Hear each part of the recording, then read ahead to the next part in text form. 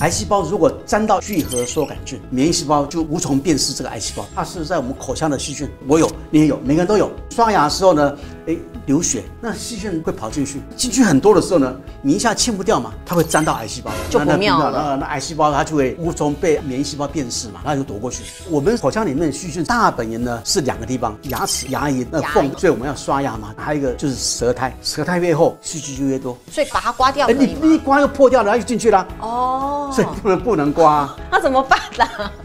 好，欢迎来到健康大前线，我是节目主持人钱子。今天哦，依旧为您邀请到精准医学权威曾清源院长，请院长来告诉我们哦。到底要怎么把精准医学带到我们的日常生活里面？欢迎曾医师，欢迎，谢谢谢谢。你有说哦，尽量避免这个胰岛素让它一直出现哦，因为刺激它，你吃东西它就会一直出现。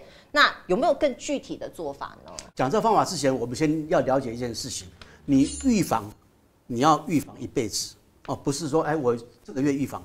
一定是要符合人性的，要持续下去，要能持续下去的，嗯，而且它必须没有副作用的。是我们在医院里面治疗癌症，它是有副作用的，所以说它那些方法呢，就一定要临床试验证明说它的副作用是可接受的，而且是好处多于坏处，对不对？但是呢，我们在预防的时候呢，你是自己预防嘛，所以那个方法呢，它是没有副作用的哦，那你就不需要临床试验嘛，哦，你只要有科学性就可以了啊。那因此科学性告诉你是有效的。但是呢，因为没有副作用，所以你可以自己做，而且可以做一辈子啊。原则上是这样子。那他那个万一效果没有很好，没有很好，你就是白忙一场而已嘛，对不对？会怎样呢？没有损失。对，没有损失嘛。对。啊，嗯。但是呢，不能够让你白忙一场了，你总是有科学根据嘛，哈。那因此呢，我们在上一期有提过断食。是。啊，你把三餐缩短在八小时吃，这有副作用吗？没有副作用嘛，对不对？另外一个就是说，我们的饮食里面呢，会刺激胰岛素的是主要是碳水化合物。是。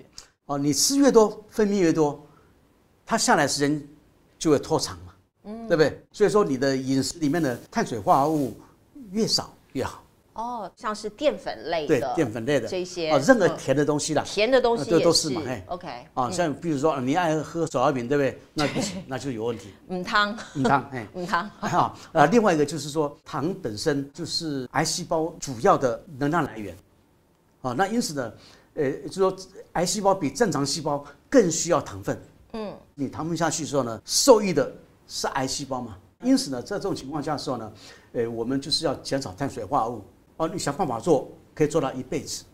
哦，那在这做的过程之中，哎，你就需要有一些饮食上的调整。是。那还有一个就是我们常常听到的一件事情啊，免疫力强，你就。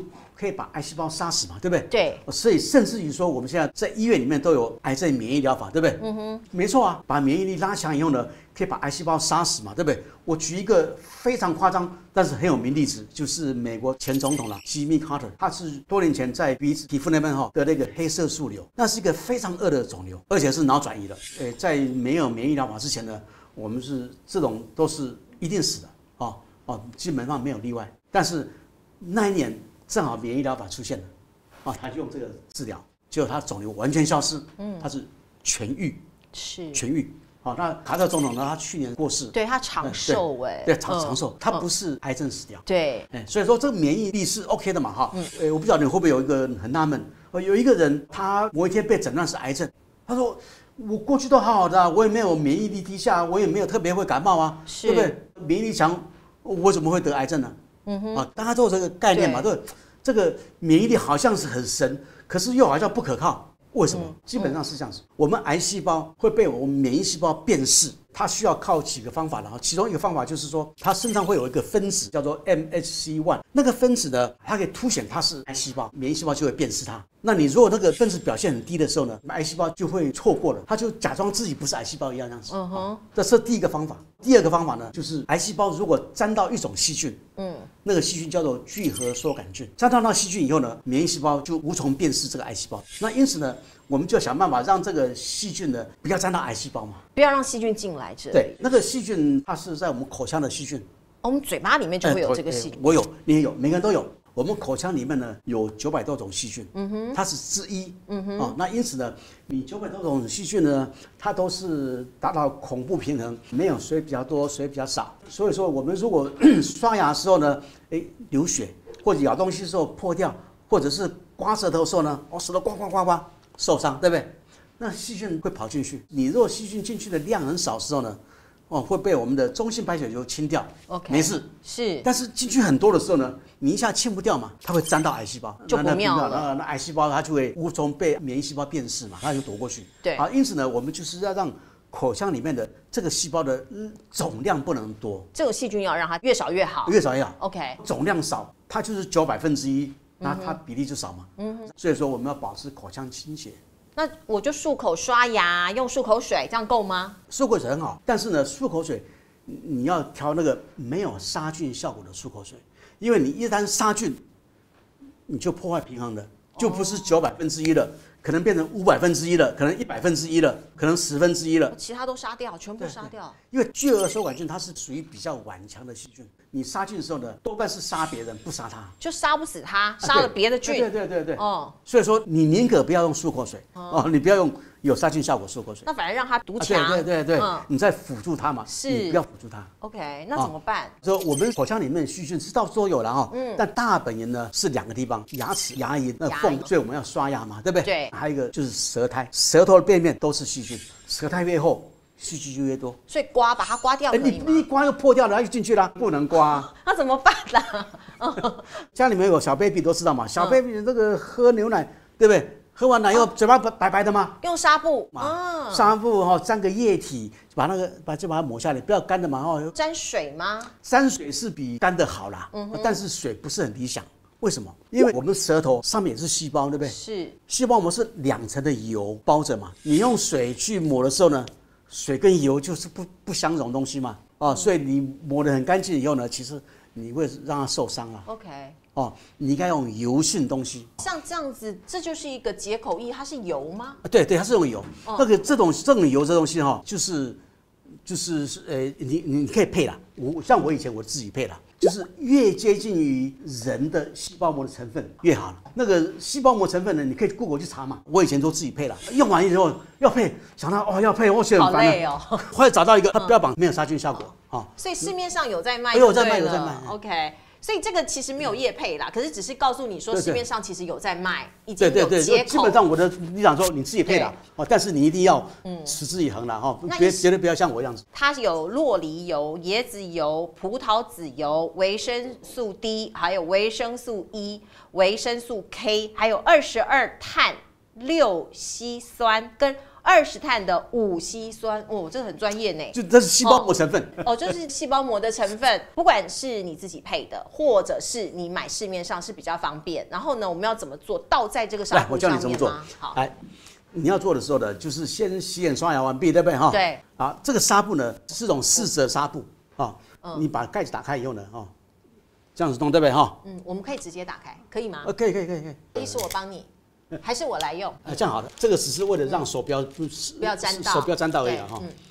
好，倒在瓶盖上，好盖子上对不对哈？对这样子然后让它沾到油，沾到，然后呢，把它翻过来，是啊另外一边哦，这边没有沾到嘛，对不对？那边没沾到，再沾一次再再沾一次，，OK，再沾一次。好，好，那你弄弄完以后呢，哈，哦，那个呃，当然就是没有这一块了哈，家里对没有这一块啊。这个四折纱布呢，你摊开来，你就可以看到有四个圈嘛，哦，对，而且很均匀的都沾到了耶，哦，你看到四个圈，四个圈都很均匀的沾到了这个油，然后呢，你就用两个手指顶着某一个圈，嗯就开始在舌头上擦，就跟你擦小 baby 的舌头一样，OK，擦了一个，然后再换第二个，嗯，然后再换第三个，然后换第四个，四个都擦完，你就会发现说，哎，我刚刚牙刷还不刷很干净吗？为什么会这么脏？对，就是不脏。上面会脏哦，会哦，即便你看到说啊没有舌苔吗？白白的嘛，告诉你抹下来就不是白色的。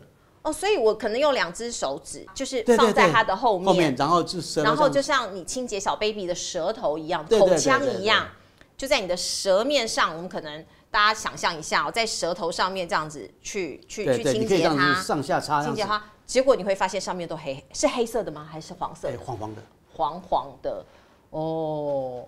那一每一天都要做吗？每天做，每一天你你会做发现说奇怪，我怎怎么会这么脏？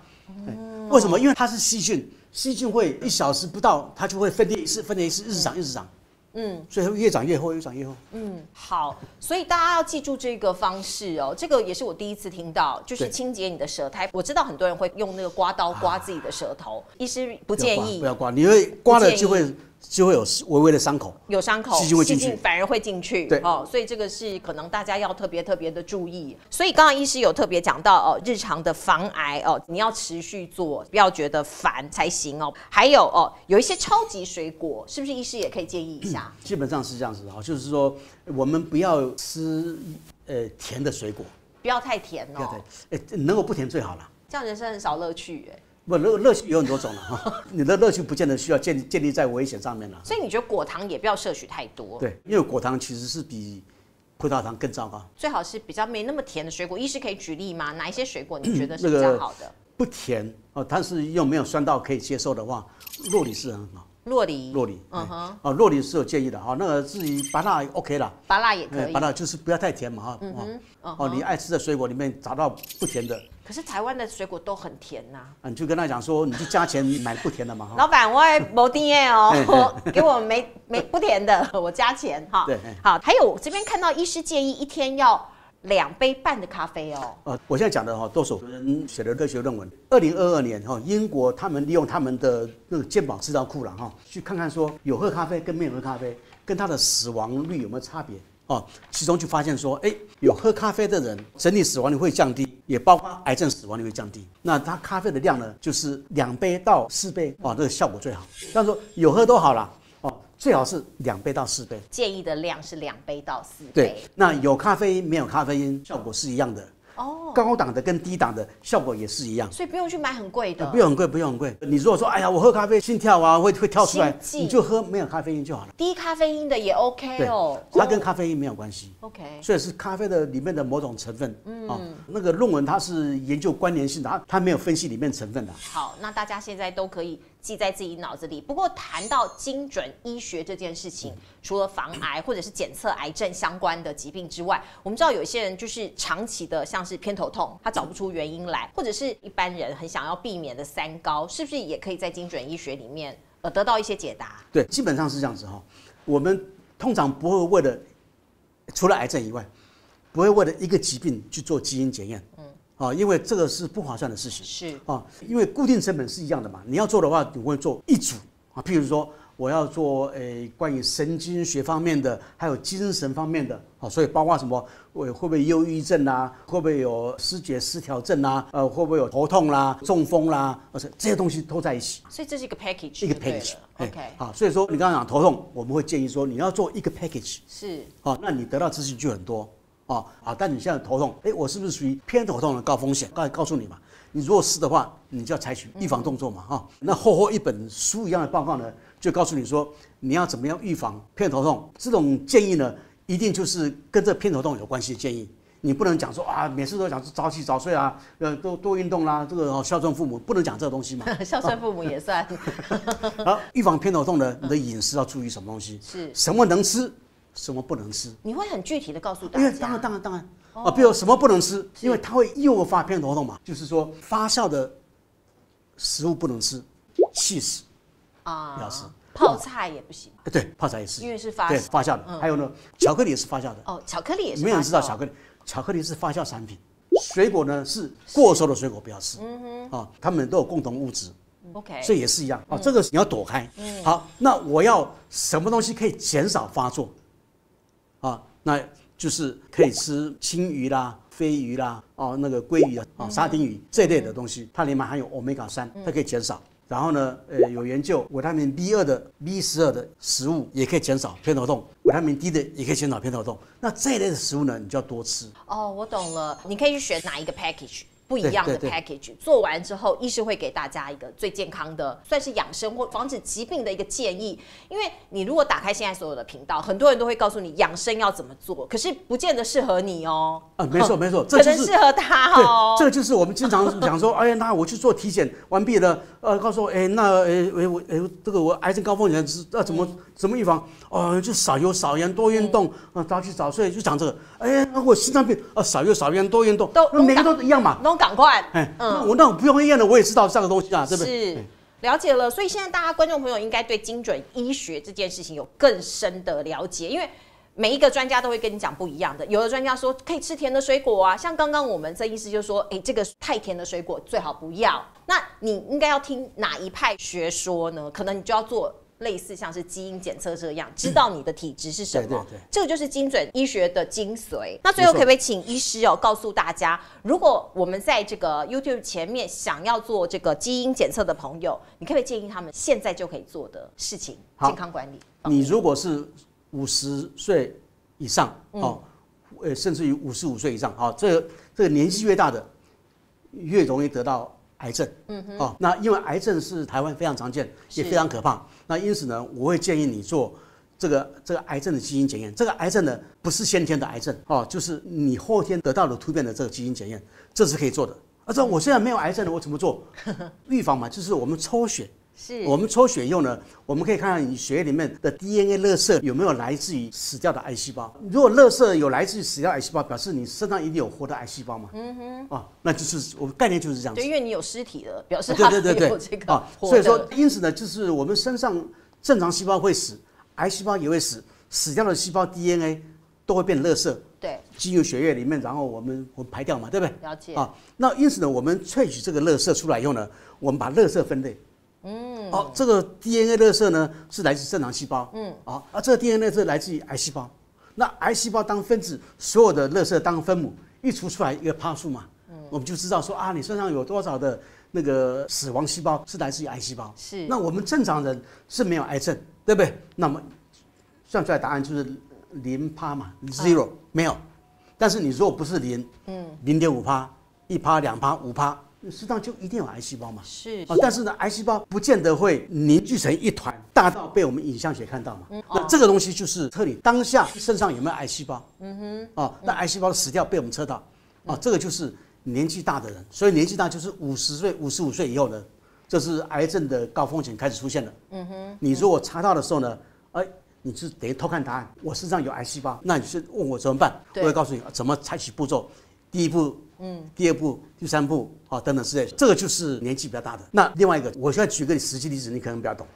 呃，就是有一个人哈，他是上市公司的老板了哈。是。哦，那他也不晓得做什么东西，他是怕生病，但是他也不晓得他怕什么病。